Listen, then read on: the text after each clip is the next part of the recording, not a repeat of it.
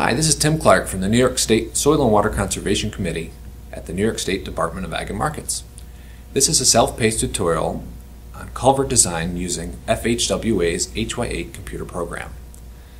Now this course is intended for technicians working in New York State's conservation districts and the NRCS staff that work alongside them.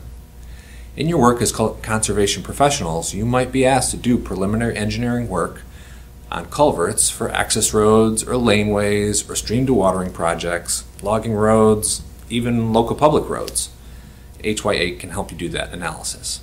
Plus, once you've mastered HY8, it'll be easy to transfer those skills to any other commercially available culvert design package. Go ahead and click through to see the course content.